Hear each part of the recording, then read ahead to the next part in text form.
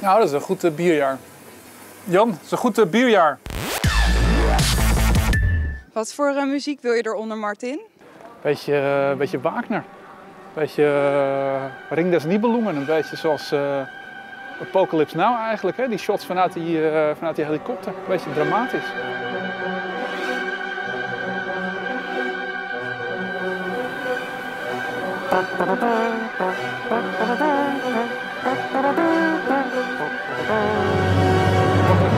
Hè.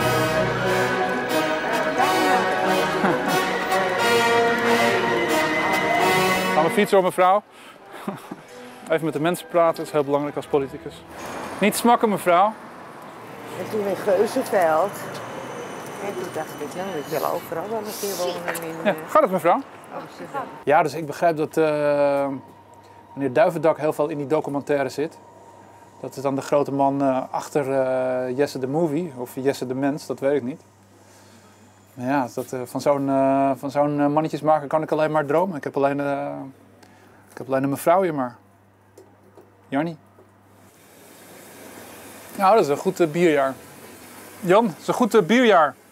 Ze wil me niet zien, zie je dat? Zo gaat het. Als, als rechtgesnaarde politicus, zo gaat het. Mensen wil je, wil je niet eens meer aankijken tegenwoordig.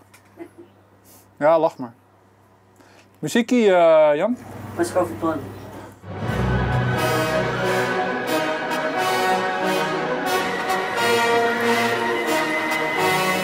Een lekker kaassouffleetje, jongens.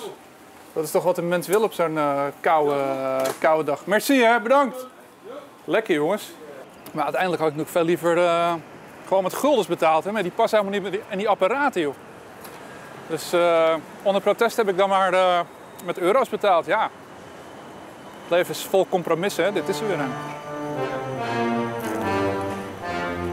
Oh, wat een lekkere ruikertjes. Ja, dat zijn ruikers inderdaad. Ik hoor dat er een plan is eh, voor een uh, tulpentax hè, van GroenLinks. Zegt u dat wat? Een tulpentax. Ja, om die mooie snijbloemen allemaal eh, onbetaalbaar te maken. Echt een belachelijk plan. Kip hotdog, hè, dat hadden we vroeger niet. Toen was het gewoon van varkensvlees gemaakt. Ja, de haan van Hema staat wel van Hollands. Staat wel voor Hollands.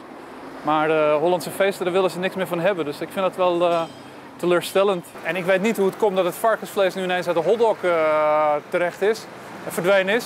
Het kan de islamisering van de hotdog zijn. Eh, ik, ik, roep maar wat. Ik stel het alleen maar vast. Ik zie alleen maar wat ik zie. Dat is het.